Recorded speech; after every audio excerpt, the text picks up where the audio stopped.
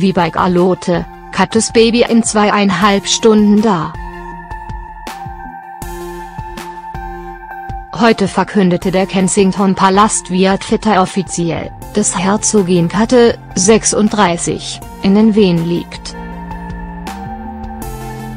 Sie und ihr Mann Prinz William, 35, fuhren heute Morgen von ihrer Wohnung in das St. Maries Hospital.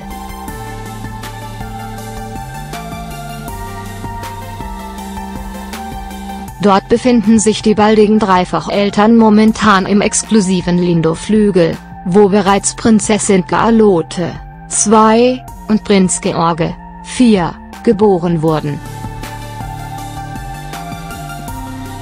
Die Tochter des königlichen Paares hatte es besonders eilig, den Babybauch ihrer Mutter zu verlassen wird die Geburt des royalen Nesthäkchens länger oder kürzer dauern als die seiner großen Schwester?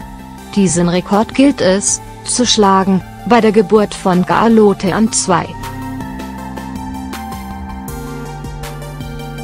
Mai 2015 lagen nur zweieinhalb Stunden zwischen der Einlieferung in die Klinik und dem Moment, als Kattes Minime auf der Welt war.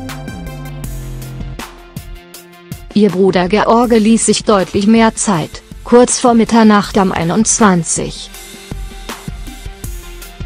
Juli wurde damals verkündet, dass Katte mit ihrem ersten Kind in den Wehen liegt aber erst am Nachmittag des nächsten Tages wurde die Niederkunft des kleinen Prinzen verkündet.